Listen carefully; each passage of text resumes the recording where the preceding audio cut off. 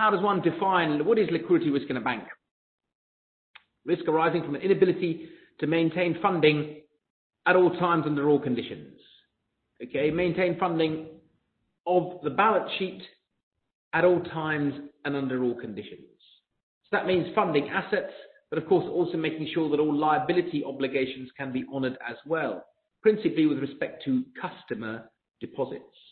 Okay, so liquidity risk is the risk arising from an inability to maintain funding of the balance sheet at all times and under all conditions, including non-business as usual, non-stable market conditions. Liquidity risk is a function of normal banking operations. If you remember from lecture one, the four principles or the four orthodox principles of banking, one of which was the assumption of continuous liquidity, the assumption that banks will always be able to raise liquidity when they need. That's not necessarily a strong assumption in a stable market, but uh, to have that view in perpetuity makes it a strong assumption, which is why we mitigate liquidity risk. One could manage liquidity risk by matching assets and liabilities on both a contractual and behavioral basis, but um, that's not actually what banking is.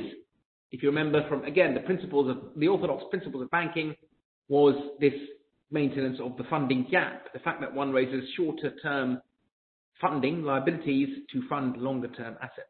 Okay, so that's why liquidity risk arises. It's a normal fact of life with banking. The normal act of everyday banking generates liquidity risk, and therefore we have to manage it uh, in a, such a way that we maintain liquidity at all times and under all conditions.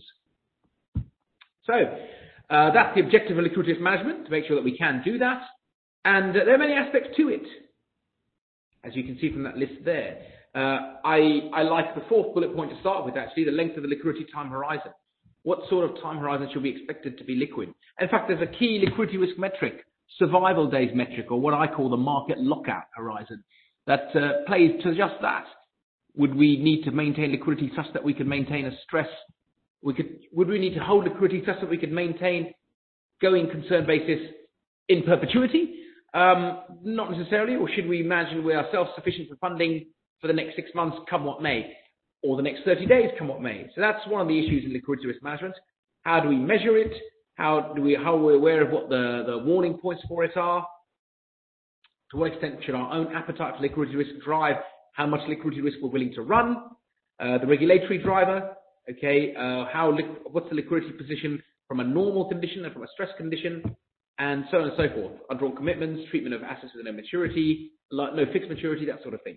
So there's a number of issues, and this this is not an exhaustive list by, list by no means. I've got nothing there about funds transfer pricing, for example, or indeed about managing the liquid asset buffer.